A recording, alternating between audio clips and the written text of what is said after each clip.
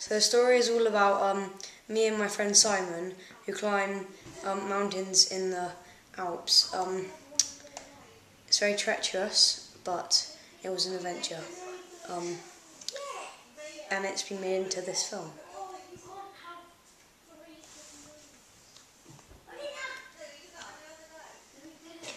Okay.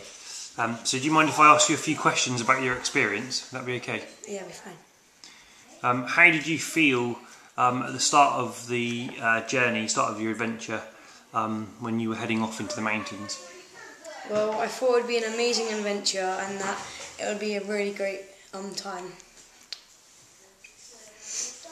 So yeah, that's why we set we set off and it was great.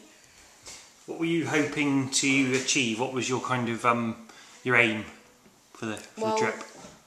We did kind of um, achieve to touch the void, um, but then it all went wrong, and then we had to kind of aim for surviving. Really. So what exactly happened? What was the what happened on your descent from the mountain? Well, um,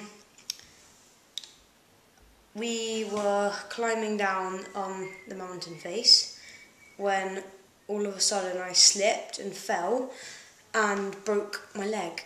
So um, Simon came rushing down and saw what had happened.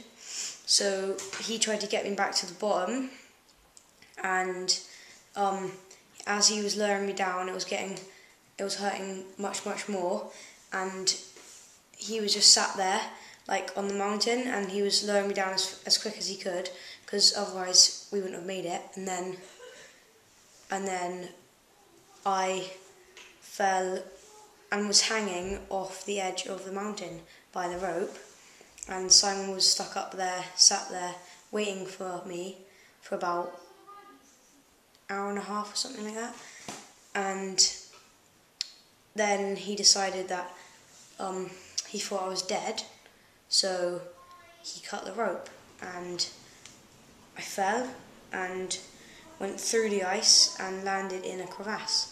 So do you think that was an easy decision for Simon to make when he knew you were hanging on the end of the rope to, to cut you free and presumably he thought you were dead, he dropped you off the end of the rope and you died?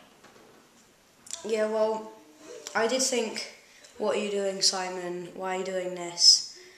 But then I did realise if he had to survive, then he had to cut the rope. So it was a good decision. And what happened to you after that then? How did you, you've been cut loose on a rope, you fall into a crevasse, presumably Simon thinks you're dead. Um, how did you, uh, what did you do next? Where did you go? Well, um,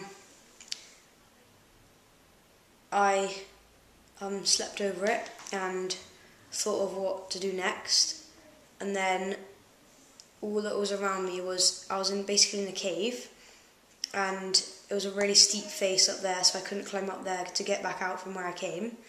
But um, there was a really deep, um, like kind of like tunnel to another bit of a cave.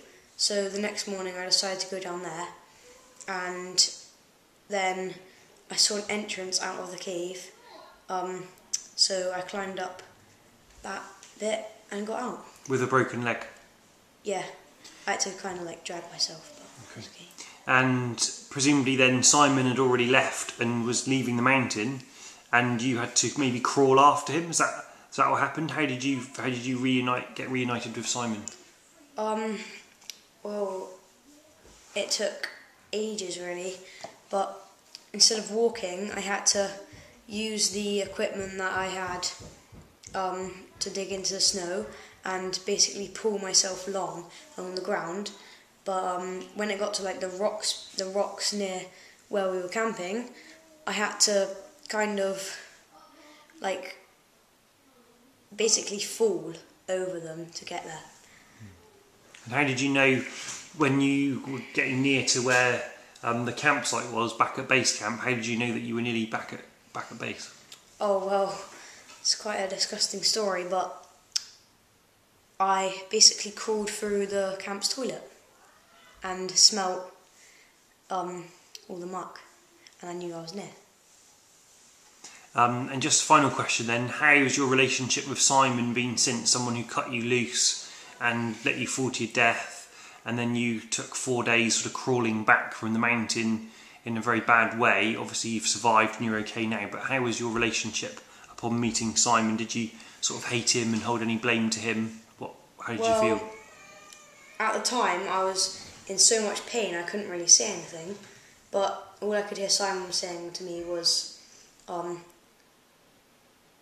um, like things like, "Oh, I can't believe you're alive. Um, I love you so much," stuff like that. So it really made me feel good. And are you back climbing again? Yeah, yeah. Great. Thanks for taking the time to talk to us today. Thanks. Bye.